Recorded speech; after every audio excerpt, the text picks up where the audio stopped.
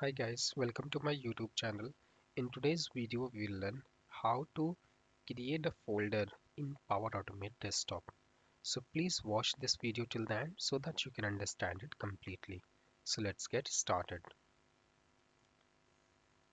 In Power Automate Desktop, we have a category which is named as folder, right? And inside that, we have an action which is called as create folder, right?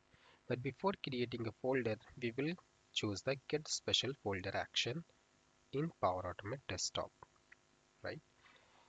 As we know that get a special folder gives me a direct path to a specified folder, which can be desktop, documents, application data, program files, etc.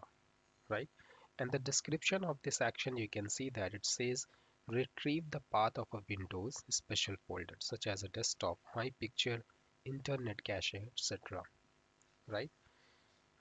So this way, if you use get special folder and if when you have developed the bot and you are going to move this bot to the production, your bot will not be affected. Right? I will click on save.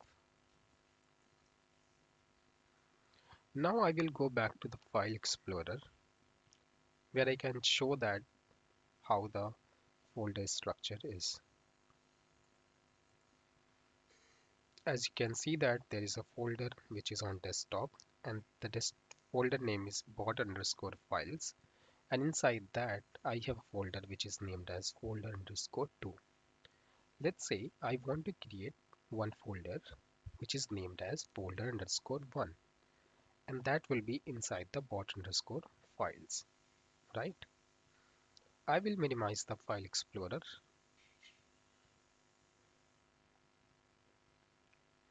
Now I will choose the create folder action.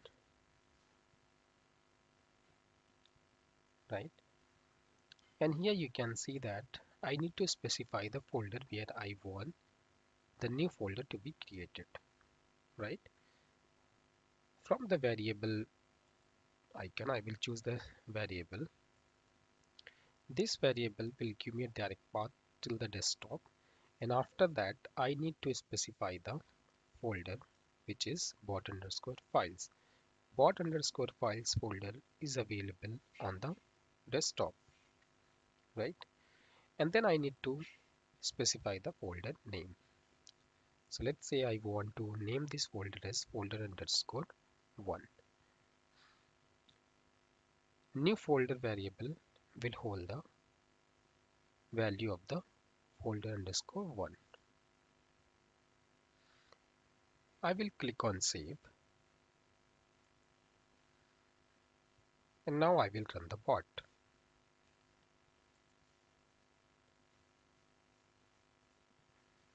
As you can see, bot execution is completed now.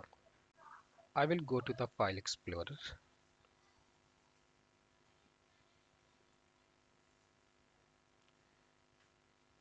and here you can see that folder underscore 1 is created inside the bot underscore files folder. So this is how you can use create folder action in Power Automate desktop to create a folder. If you like this video, please click on the like button and please subscribe my YouTube channel and if you have any question, please post it in the comment section. Thank you for watching. Have a great day.